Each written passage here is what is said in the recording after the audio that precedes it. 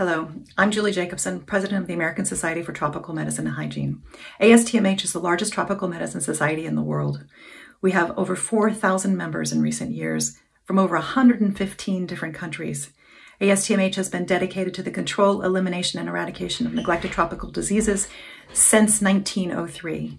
We are excited to be here at the launch of the WHO Roadmap on Neglected Tropical Diseases and remain committed to being the scientific home for the discussions, debates, and partnerships that not only take us to success in this year, but in the next decade to come.